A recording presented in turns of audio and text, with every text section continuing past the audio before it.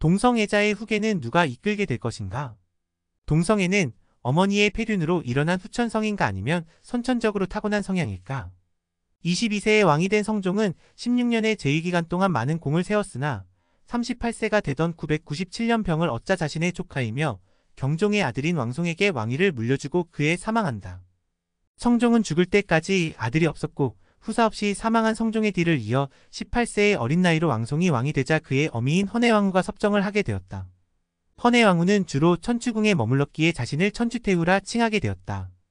천추태후가 가장 먼저 한 일은 자신과의 불륜으로 귀양 보내졌던 김치양을 다시 불러들였고 인사권을 포함한 거의 모든 권력을 내주게 되었다.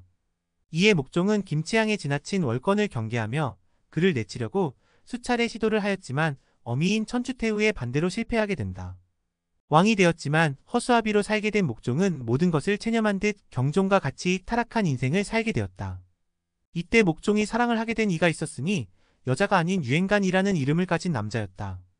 유행간의 출중한 외모에 반하여 남색을 즐기게 된 목종은 유행간이 소개한 유충정이라는 또 한 명의 남자를 알게 되어 그와도 동성의 행각을 벌이게 되었다. 목종은 유행간에게 정사의 모든 권한을 부여했으니 고려는 큰 혼란에 빠지게 된다. 훗날 어미인 천추태우와 김치양의 사이에서 아들이 나오게 되었고 후사가 없는 목종은 큰 걱정거리가 생기게 되었다. 그 당시 목종의 후계자로 유력시 되던 이가 있었는데 바로 대량원군이었다. 김치양은 수차례 자객을 보내 대량원군 목숨을 위태롭게 만들었고 목종은 병까지 얻게 되었다. 위협을 느낀 대량원군은 목종에게 구원 요청의 편지를 보내지만 목종의 연인 유행간에 의해 가로막히게 되었다. 하지만 목종과 유행간의 사이를 질투했던 유충정은 매번 가로막혔던 대량원군의 편지를 몰래 빼돌려 목종에게 전달하였다.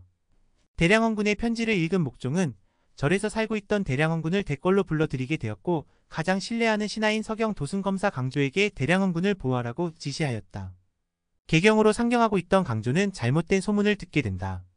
목종은 이미 죽었고 이 왕이 친탈을 모의한 천추태우와 김치양이 그를 제거하고자 어명을 사칭에 불러들였다는 소문이었다.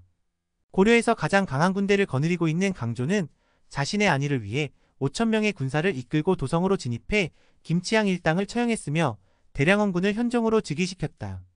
또한 폐위된 목종은 유배지로 향하는 도중 강조의 부하들에게 암살을 당하고 말았다.